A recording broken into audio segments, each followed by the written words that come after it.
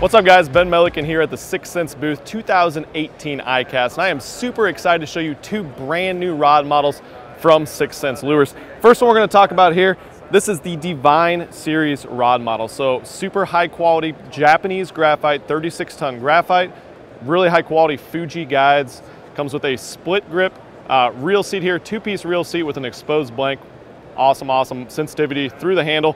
And then of course a fully, uh, full EVA foam handle, taper handle, everything is ultra custom with this one.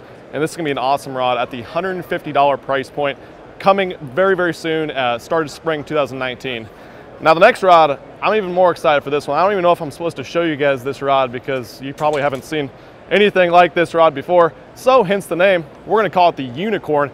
The reason this rod is different from any other you see on the market is a, a mixture of high quality components at an amazing price point. So we have all the high quality graphite, uh, Fuji guides, super custom uh, reel seat, tapered, tapered handle, everything, except this comes in a 40 ton graphite uh, and it's infused with graphene. So what graphene does makes this rod 20% lighter, stronger, increased sensitivity, you guys have never seen a rod like this and the price point, it's gonna be right about $250 price point. So ultra high quality rod, really, really reasonable price.